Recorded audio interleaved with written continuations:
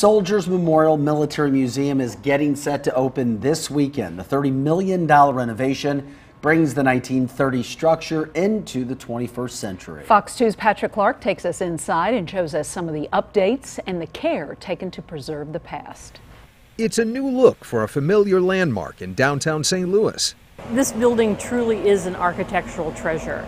And the City of St. Louis and Missouri Historical Society want you to dig into this city's past at the newly renovated Soldiers Memorial Military Museum. It was very important to us that Soldiers Memorial, as well as the Court of Honor, be fully accessible to anyone that wanted to come and, and visit. It was built in 1938, uh, so it lacked a lot of things that we just were just think are normal in buildings these days, like air conditioning, elevators, and lifts that can get people to, to all the spaces of the building. Set to open Saturday, November 3rd to the general public, the Soldiers Memorial Military Museum has undergone a $30 million major renovation over the last few years.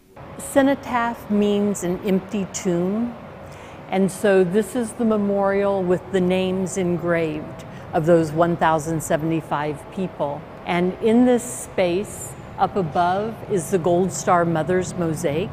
Originally constructed to honor St. Louisans in World War I, the Soldiers Memorial now pays tribute to St. Louis men and women from all conflicts. In the first gallery, in the center case, we have the 1906 USS St. Louis ship bell. Whether it's a rudder you can see your reflection in, or this baseball Navy uniform worn by Stan Musial, there is a lot of history to take in in this Show Me State Museum.